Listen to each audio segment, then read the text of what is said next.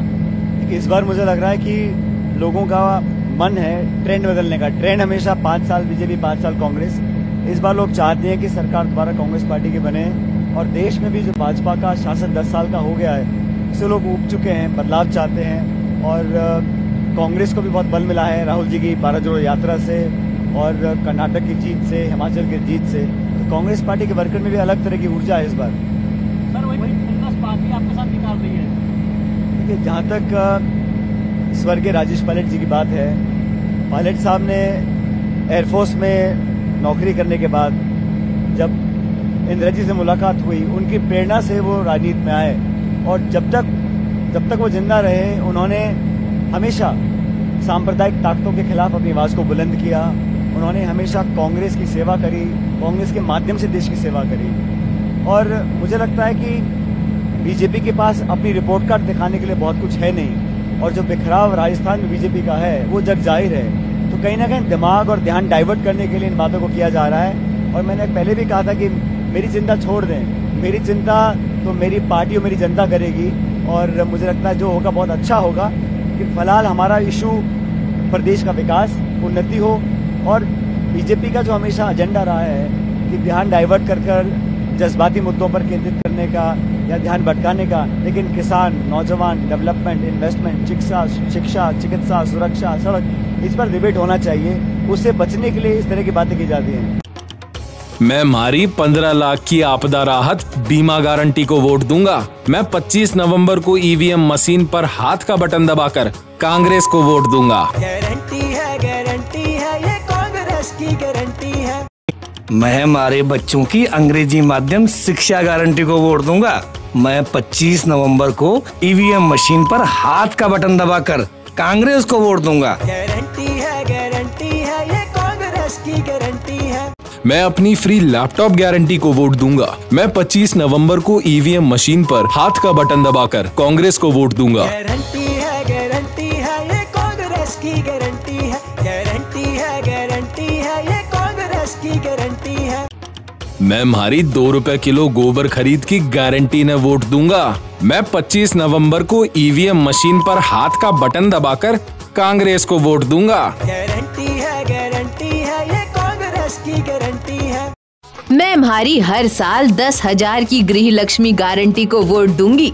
मैं 25 नवंबर को EVM machine पर हाथ का बटन दबाकर कांग्रेस को वोट दूँगी। गारंटी है गारंटी है ये कांग्रेस की गारंटी है मैं हमारी ओपीएस गारंटी को वोट दूँगा। मैं 25 नवंबर को ईवीएम मशीन पर हाथ का बटन दबाकर कांग्रेस को वोट दूँगा। गारंटी है गारंटी है ये कांग्रेस की गारंटी है। मैं हमारी पाँच सौ रूपए में गैस सिलेंडर गारंटी को वोट दूँगी।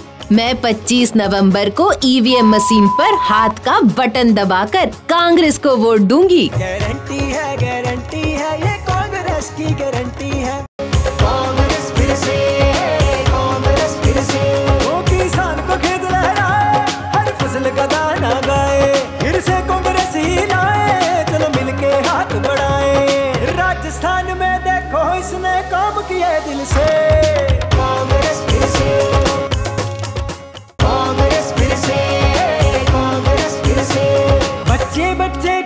आशा हर बेजुबान की भाषा।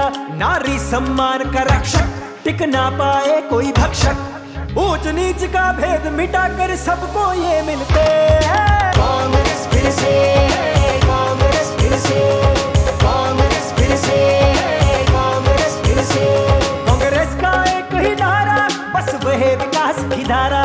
असुविधा का अंधियारा, कांग्रेस ने पल में उतारा। वो काम को जिसके चेहरे रहते हैं खिलते हैं। कांग्रेस फिर से सर लेकिन एकता की बात है वो दिखी नहीं आपने या फिर सीएम ने एक साथ की रैली सारे रैली नहीं की कहीं एक रोड शो साथ नहीं हुआ तो आपको लगता है कि आज भी आप लोग इतना बड़ा प्रदेश है हम सब लोग मिलकर चुनाव लड़ रहे हैं। मैंने पहले भी कहा 2018 में मैं कांग्रेस प्रेसिडेंट था अध्यक्ष था।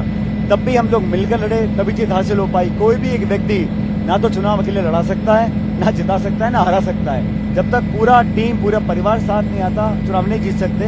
अट्ठारह में हम चुनाव जीते थे, क्योंकि हम एकजुट होकर लड़े थे। इस बार भी हम पूरी ताकत से लड़ रहे हैं। हर सभा, हर रैली अगर सब नेता इकट्ठा करेंगे तो इतना बड़ा प्रदेश में हम प्रचार नहीं कर पाएँगे। राहुल जी अलग सभाएँ कर रहे हैं, प्रियंका जी अलग कर रही है खड़गे साहब अलग कर रहे हैं। सीएम और मैं, हम भी अलग अलग मीटिंग कर रहे हैं। साथ भी कर रहे हैं, अलग भी कर रहे हैं। मुद्दा ये नहीं है, मुद्दा ये है कि बीजेपी के अंदर जो खिंचाव और तनाव है, उसको छुपाने के लिए औरों पर आरोप लगाकर उंगली उठाने का काम किया जा रहा है और जनता सब समझ रही है दोनों पार्टियों का मूल्यांकन करेगी नीतियों का नियत का और नेतृत्व का। और उसके बाद वोट पड़ेगा। मुझे पूरा विश्वास है कि इस बार 25 तारीख को कांग्रेस को अच्छा बहुमत मिलेगा।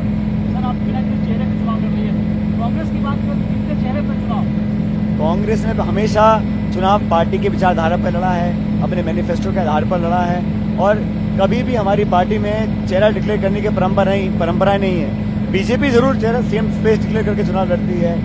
उनसे पूछना चाहिए कि इस बार आपका कौन सीएम फेस है? हमारे यहाँ तो कभी डिक्लेयर नहीं करते। चुनाव जीतने के बाद विधायक बैठते हैं और फिर पार्टी लीडरशिप तय करती है कौन सीएम या क्या ज़िम्मेदारी निभाएगा। हमारे यहाँ इशू नहीं है। इशू तो बीजेपी के पास है। वो लगभग हर चुनाव में बड़ा कॉन्फिडेंटली एक चेहरा प्रस्तुत करते हैं। वो इस बार नहीं कर रहे हैं। पूछना चाहिए क्यों नहीं कर रहे हैं? हमारा तो रीति है ट्रेडिशन है कस्टम है, पिछले दशकों से। और राजस्थान में नहीं, हर स्टेट में हम ऐसा ही करते हैं। बीजेपी जा रही है। अब वो ये तो कह नहीं सकते कि बीजेपी हारने वाली है। वो तो दावा करेंगे ही। लेकिन जिस प्रकार वोटिंग हुई है मध्य प्रदेश में, जो ट्रेंड्स आ रहे हैं छत्तीसगढ़ के, दोनों स्टेट्स में कांग्रेस पार्टी जीतेगी।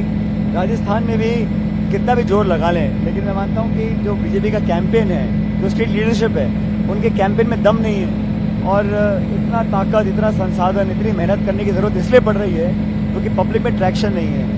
कांग्रेस में मुझे लगता है कि एक बदलाव पूरे देश में हो रहा है, उसका फ़ायदा हमको राजस्थान में मिलेगा। और हमने पूरी ताकत के साथ कैंपेन किया है, सब लोगों ने, किसी एक व्यक्ति ने नहीं। और अंत में क्या होगा? बहुमत आने के बाद किसको क्या ज़िम्मेदारी मिलेगी? ये बहुत आराम से, इत्मीनान से पूरी पार्टी में बड़ी सरलता से इसका निर्णय लिया जाएगा। जो भी लीडरशिप कांग्रेस पार्टी की तय करेगी, वो सबको एक्सेप्टेबल होगा। और ये बात मैं सिर्फ़ अपने लिए नहीं बोल रहा हूँ। सब नेता इस बात में सहमत हैं, जो मैं कह रहा हूँ। मेरे मेरे जो इश्यूज़ थे, व्यक्ति के साथ नहीं थे। इशू मुद्दे प्रिंसिपल के थे, लोगों के थे, नौजवानों के थे। मुझे लगा पार्टी अगर कुछ अलग करेगी तभी हम जीत सकते हैं। आज हम दावा कर रहे हैं, हम चुनाव जीत रहे हैं, क्यों कर रहे हैं? तीस साल में नहीं कर पाए थे, क्योंकि इस बार हम लोगों ने कुछ कदम उठाए हैं। पेपर लीक पे हमारे कहने के बाद पार्टी ने संज्ञान लिया, एक नया कानून बना उम्र कैद का प्रावधान जोड़ा गया कानून के अंदर। हमने कुछ करेक्टिव मेजर्स रखवाए। हमारी सरकार में दो साल तक कोई दलित मंत्री नहीं था, आज चार दलित मंत्री हैं। तो हमने कुछ कोर्स करेक्शन किया, मेरे इशू उठाने के बाद उसका लाभ पार्टी को मिला, सरकार को मिला।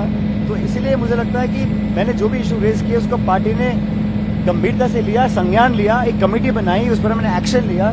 उसका फल, उसका सकारात्मक परिणाम पार्टी को मिला और सरकार को मिला। मत बोलो, पार्टियाँ सरकार बनाती हैं, सरकारों से पार्टियाँ नहीं बनती। मैं मारी पंद्रह लाख की आपदा राहत बीमा गारंटी को वोट दूँगा। मैं 25 नवंबर को ईवीएम मशीन पर हाथ का बटन दबाकर कांग्रेस को वोट दूँगा। गारंटी है गारंटी है ये कांग्रेस की गारंटी है। मैं हमारे बच्चों की अंग्रेज़ी माध्यम शिक्षा गारंटी को वोट दूँगा।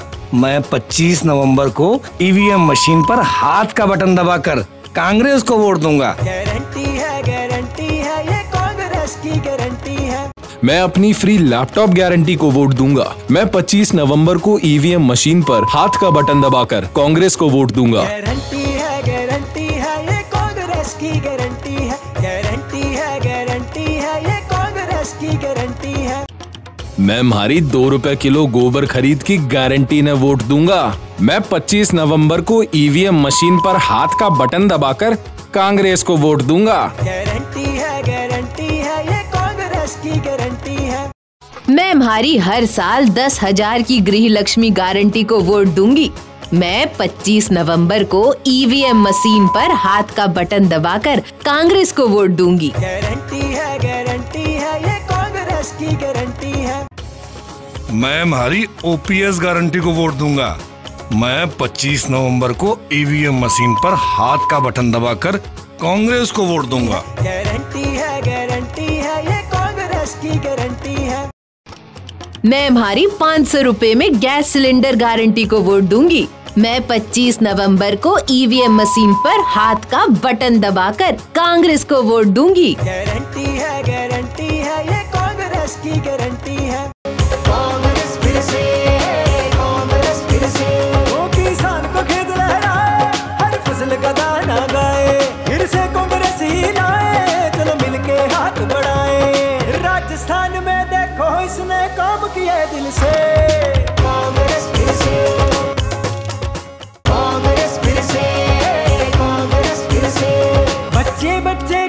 आशा हर बेजुबान की भाषा। नारी सम्मान का रक्षक, टिक ना पाए कोई भक्षक। ऊंच नीच का भेद मिटा कर सबको ये मिलते हैं। कांग्रेस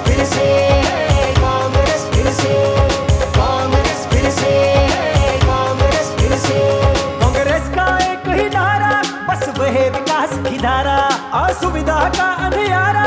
कांग्रेस ने पल में उतारा। वो काम को जिसके देख के चेहरे